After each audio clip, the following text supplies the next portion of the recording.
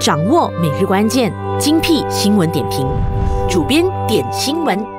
我想呢，最近你也有看到这个新闻，就说啊，GoJack 呢要进入到马来西亚的市场了。接下来的这一段主编点新闻，我们来聊一聊。我是佩玲，我是志峰。那现在呢，政府啊是亮了绿灯哦，就让这一个 GoJack，其实呢就是来自印尼的摩多共享公司呢，就是进入到我国的市场。不过呢，有些人士呢似乎就是有表达了一些不一样的意见，像是雪兰莪的宗教司达也斯就认为呀，内阁批准了 GoJack 呢，就是进军到大马的话。就会导致呢。男性跟女性呢，就是一起乘坐摩多。那这个做法呢，是有违伊斯兰教义，并且会担心呢，引来一些流言蜚语哦。他说，假设女性呢使用这个服务，那如果说这个摩多司机呢是男性的话，而且是非亲属的男性，就会成为了画饼。那为了避免这种状况呢，他就认为说，最好就是不要引入这样的服务。其实，像这名宗教师的观点呢，并不是新鲜的事情啊。之前呢，我国东海岸州。属也有类似的这个指示跟观点，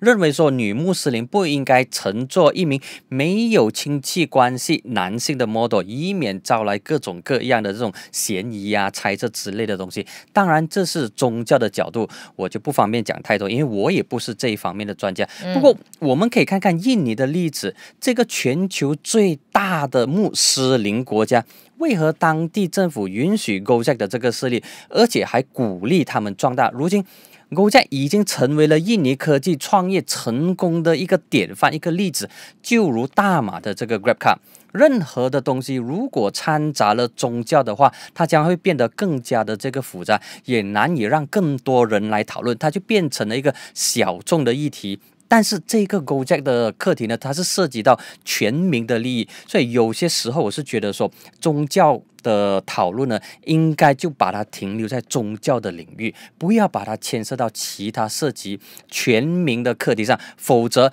这一个呢，很容易的会陷入矛盾甚至对立的情况。因为这一些人可能他们会觉得说，哎，这个是关系到宗教，是关系到我的信仰，所以你不是这个宗教的信徒，所以你不了解宗教的教育，还有他的这个信仰，所以当涉及到宗教的时候呢，整个讨论的焦点就会被模糊掉了。嗯，那这一名呢，雪州的宗教师呢就。就建议政府啊，可以考虑其他更好的方法，以免避免呢引起他本身非常忧虑的这个问题。那另一方面呢，槟城的宗教司呢，旺沙里呢，就交由政府决定说呢，是否要落实这一项服务。他说呢，他没有就此颁布一些法规，所以呢，还是要交给政府来决定。好了，其实这个勾债的课题，我们可以从很多的角度来看待它，未必必须要从一个宗教的角度来切入。其实它这是一个经济以及就业的课题，勾债能够带来许多的就业机会，让更多年轻人以。最低的成本找到就业的机会，成为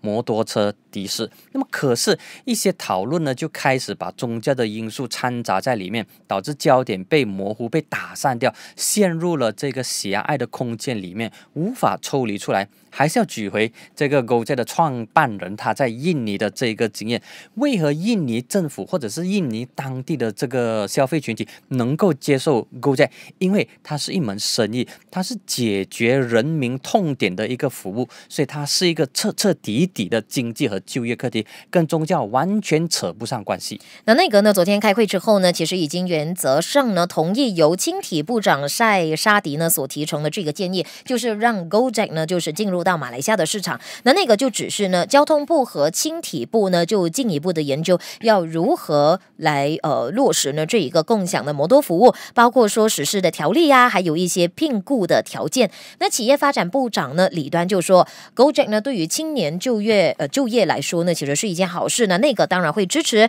所以他说呢，接下来就交给这两个部门呢继续进入下一步的研究。所以现在我们要讨论的呢，其实是如果 Gojek 进来的话呢。那么如何保障这些乘客还有摩托骑士的安全？这个才是关键的这个点，而不是把他的焦点放在宗教的这个层面。当然，我们无法禁止或者阻止其他人从宗教的角度来讨论，但是在这个关键点上呢，我就希望说政府，特别是这两位被点名负责这个这个课题的塞沙蒂还有陆兆福，能够从专业的这个角度出发，就根据目。前市场上的这个需要来